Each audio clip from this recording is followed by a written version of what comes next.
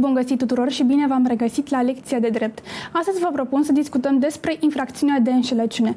Doamna avocat, ce reprezintă concret această infracțiune conform legii și cum este definită ca să înțeleagă toți cei de acasă?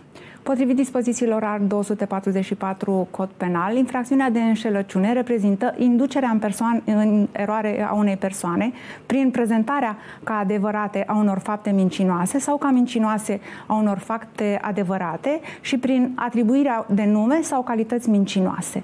Haideți să vedem care sunt cele mai întâlnite astfel de acțiuni uh, care ne pot prejudicia până la urmă, conform hotărârii 1391 din 2006, fiindcă tot mai multe fapte de înșelăciune sunt cele online, cum ar fi phishing uh, prin e-mail sau SMS sau escrocheriile telefonice. Da, este adevărat, au suferit o largă răspândire și sunt din ce în ce mai dese și mai variate ca modalitate de acțiune, în special cele prin mijloacele electronice, informatice.